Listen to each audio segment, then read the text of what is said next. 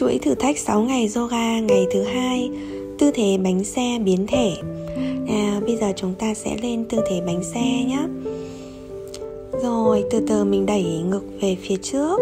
Sau đó chúng ta co một chân lên Đưa tay nắm cổ chân. Chúng ta nắm xuôi vai. Đây là lựa chọn số 1 Lựa chọn dễ nha. Hoặc là chúng ta sẽ đi tay xuống nắm kiểu tay xoay vai bánh xe đẩy ngực về phía trước. Bạn nào vai mở thì chúng ta sẽ thực hành lựa chọn này còn bạn nào vai chưa mở, chúng ta thực hành lựa chọn số 1 nhé. Nào, bây giờ chúng ta hãy tìm một góc cửa sổ thật là chiêu để thực hành nhé.